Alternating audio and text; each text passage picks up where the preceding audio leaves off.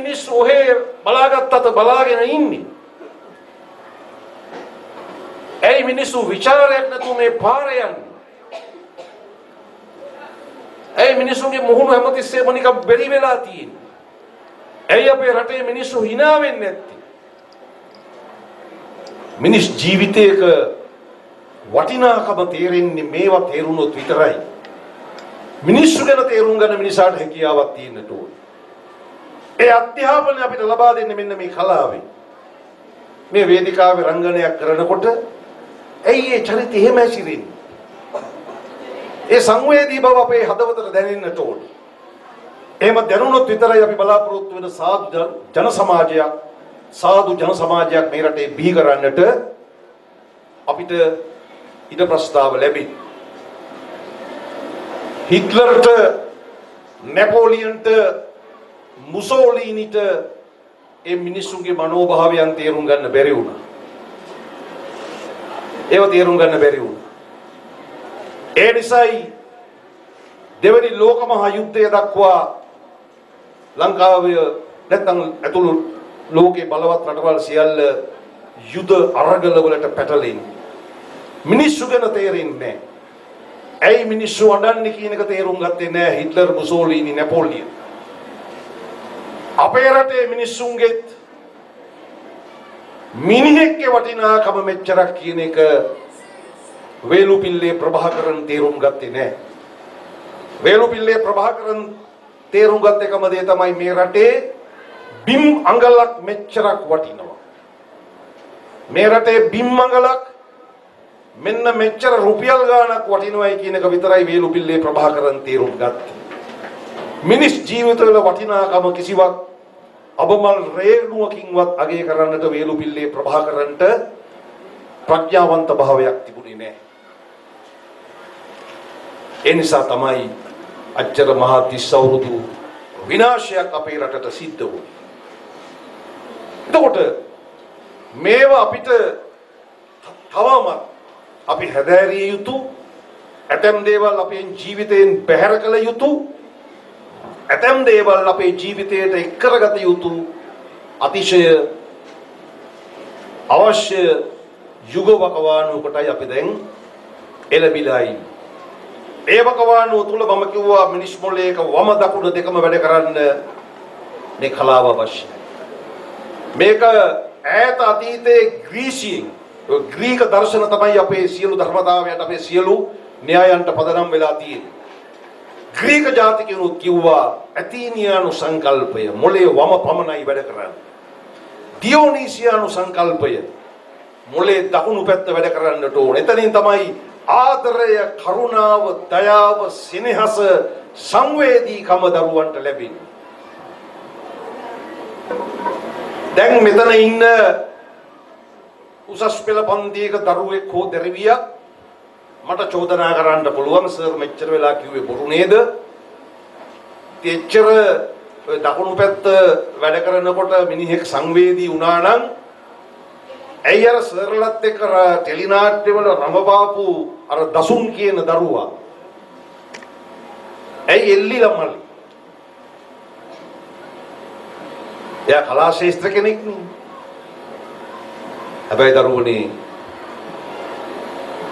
එතන තියෙනවා මෙහෙම ගැඹුරු ධර්මතාවයක් ඒ දරුවා කලා ශාස්ත්‍රයට පිවිසිලා රංගන ශාස්ත්‍රයේ බොහෝ දුර ගමනක් ආපු කෙනෙක් ඒ විතරක් නෙමෙයි එහෙනම් එහෙමනම් එයාගේ මොලේ අනිවාර්යයෙන්ම දකුණු පැත්ත වැඩ කරන්නට ඕනේ. ඒ වගේ මේ දරුවා කොළඹ විශ්වවිද්‍යාලයේ තාක්ෂණ විද්‍යා පීඨයේ ගෞරව උපාධිධරයි.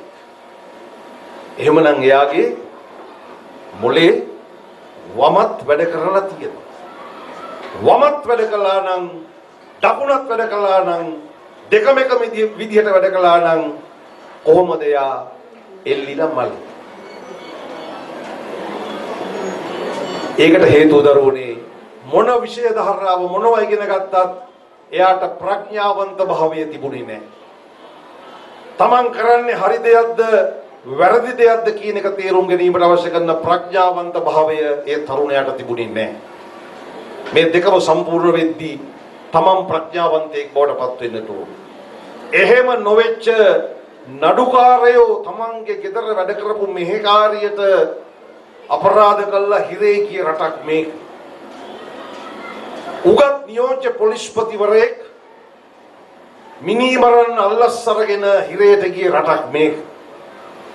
බැලුවාම ඔබතුන්ගෙන් තමයි මේ සේරම වැරදි මේ රට සිද්ධ වෙලා තියෙන්නේ.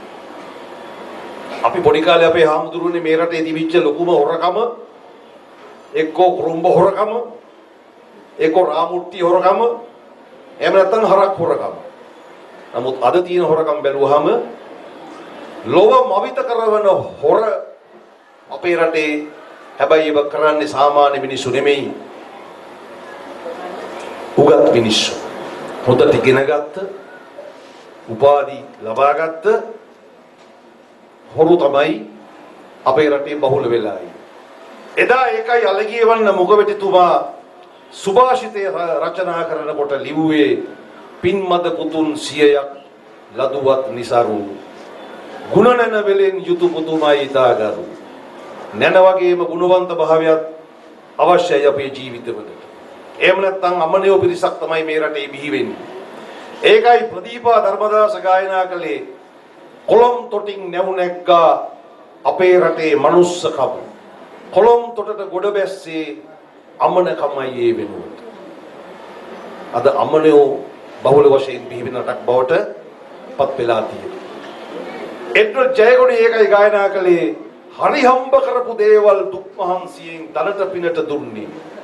හරි හම්බ කරපු දේවල් අද සමාජයේ ඉන්නේ වැරදියට හම්බ කරන මිනිස්සු. හරි හම්බ කරන මිනිස්සු නෙමෙයි ඉන්නේ. වැරදියට හම්බ කරන මිනිස්සු ඉන්නේ. මේකයි මේ සමාජයේ තියෙන ඛේද වාචක. ඒ නිසා එතනින් මේ රට ගලවා ගැනීමට නම් මෙවැනි උත්සව පවත්වලා මෙවැනි වැඩමුළු පවත්වලා සංවේදී හදවතක් තියෙන මනස සහ හදවත කියන දෙකම දියුණු කරගත්ත ජන සමාජයක් බිහි කිරීම අත්‍යවශ්‍ය දෙයක්. ඒක අධ්‍යාපනයේ හොඳ නිර්වචනයක්. ඒක නිර්වචනයක් තියෙනවා අධ්‍යාපනයේ අධ්‍යාපනයේ යනු පුද්ගලයන් සතු හැකියාවන් විකසිත කර ගැනීමට උදව් කිරීමයි. මම බොහොම අගය කරන නිර්වචනයේ පුද්ගලයන් සතු හැකියාවන්. දැන් මේ වේදිකාව මත අධ්‍යක්ෂතුමියන්ට පෙර බොහොම අපූර්ව රංගනය රඟදයක් වුණා. ඒ දරුවා මොනතරම් දක්ෂද? මොනතරම් දක්ෂද ඒ දරුවා? මීට වඩා ලොකු වේදිකාවක් තිබුණා නම් ඒ දක්ෂතාව තව මොනවට අපිට නිරූපණය වෙයිද කියලා මට හිතුනේ වඩා රබත්. ඒ නිසා අපි එහෙම සාධනීය අවස්ථාවකටපත් වෙච්ච අවස්ථාවක එක උදාහරණයක් දක්වමින් මගේ කතාව අවසන් කරනවා. මේක මේ හොරකම පිළිබඳව උගත් නූගත්කම පිළිබඳව තියෙන හොඳ උදාහරණයක්. වාහන නවත්වලා තියෙන එක අංගනයකට එනවා නූගත් හොරෙක්. මේ මිනිස්සයා අර මාටි වික්‍රමසිංහ මහත්තයා වගේ පහ පන්තියවත් පාස් වෙලා නැහැ. මල්ලකුත් අරගෙන එනවා. මේ නූගත් හොරා දන්නේ අතින් ඇදලා අතින් ගහලා අර පැති කන්නඩි ගලව ගන්න අර වැහි බිඳු පිහදාන පිහාට එහෙම නැත්නම් අපි වයිපර් එක කියලා කියනවා. ඒ වැදලා ගලව ගන්න. ඒව විතරයි දන්නේ. වෙන කිසි දෙයක් දන්නේ නැහැ. මෙයා මේ අංගණයට ඇවිල්ලා Tamanට පුළුවන් ප්‍රමාණයෙන් අර මල්ල පිරෙන්න ගලව ගන්නවා. ඇදලා ගලව ගන්නවා ගහලා ගලව ගන්නවා. මල්ල පෙරුණාම මේ හොරා ඒ අංගණයෙන් යනවා. ඊට පස්සේ මෙතෙන්ට එනවා මෝටර් රථ යාන්ත්‍රික විද්‍යාව ඉගෙන ගත්ත හොරේ. එයා කළා තියෙන්නේ මෝටර් රථ යාන්ත්‍රික විද්‍යාව විශේෂ උපාධිය. ඒක කරපු හොරෙක් එනවා. එයා ගතේ පොඩි යතුරු කෑල්ලක් තියෙනවා. එයා මේකත් අරගෙන ඇවිදලා බලනවා මේ අංගනේ වටේම එයා හොයන්නේ මෙතන තියෙන වැඩිම වටිනාකම තියෙන වාහනේ. හොයාගෙන හොයාගෙන යනවා.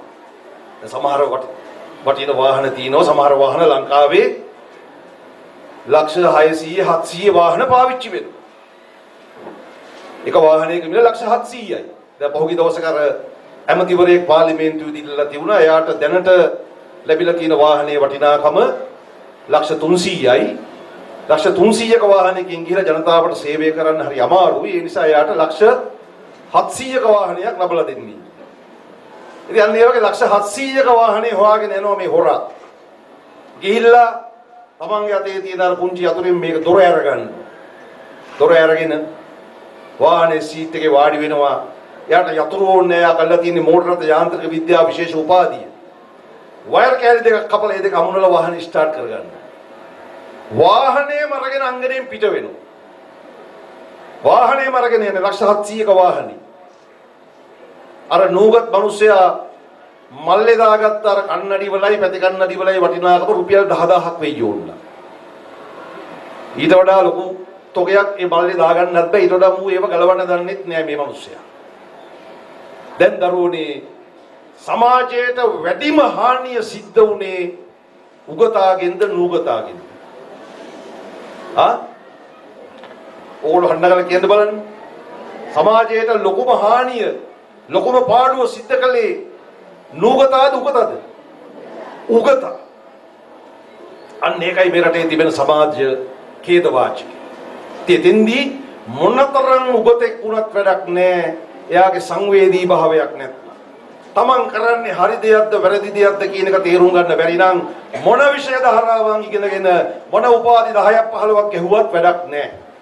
ඒ නිසා හොඳ රසවතෙක් වෙන්න හොඳ මිනිසෙක් වෙන්න හොඳ කලාකාමියෙක් වෙන්න හොඳ මානව හිතවාදියෙක් වෙන්න මේ රටට ආදරය කරන මේ රටේ මිනිස්සුන්ට ආදරය කරන මේ රටේ කලා ශිල්ප වලට සංස්කෘතියට ආදරය කරන මේ රටේ ගහකොළ පරිසරය සතා සීපාවාට ආදරය කරන හොඳ යහපත් පුරවැසියෙක් වෙන්න ඒ ඔබේ අදිෂ්ඨානය විය යුතුයි අද දවසේ. ඒ බව ඔබට පසක් කර දෙන්නට ලැබුණු අවස්ථාවට. ඒ අවස්ථාව උදා කර දුන් සියලු දෙනාටම විද්‍යාලේපතිතුමා ඇතුළු සංවිධායක මණ්ඩලයට ස්තුතිවන්ත වෙමින් මගේ කාලය අවසానයි මගේ කසා කතාව අසා සිටි ඔබ සියලු දෙනාට ස්තුතියි ඔබ සමගයේ සියලු කටයුතු සර්ව ප්‍රකාරයෙන්ම සාර්ථක වේවා. තව මාසෙකින් ලබන අවුරුද්ද ලබනකොට ඔබගේ අධ්‍යාපන කටයුතු පෞද්ගලික ජීවිතයේ කටයුතු සියල්ලම ඔබ පතන ආකාරයටම සර්ව ප්‍රකාරයෙන්ම සාර්ථක වේවා කියා ප්‍රාර්ථනා කරමින් නිහඬ වෙනවා. සියලු දෙනාටම බොහොම ස්තුතියි.